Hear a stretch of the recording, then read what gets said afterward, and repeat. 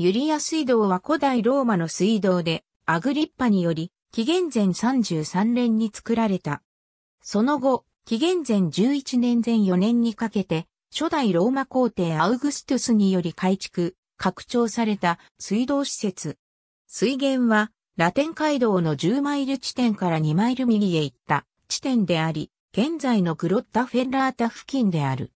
ローマ水道の技術書の著者であり、ローマ水道長官でもあったフロンティヌスによれば、水量は1日あたり48,240立方メートルで、水道の全長は 22.8km で、そのうち 10.4km は地上の導水渠で構成されていた。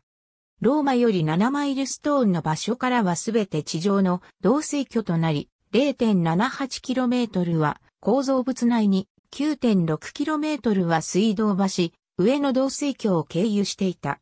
上段より、ユリア水道、テプラ水道、マルキア水道と導水橋3段に積み上げた形の水道橋を通り、ローマ市内に達し、ティブルティーナ門付近で、それぞれの最終排水地に向けて分岐していた。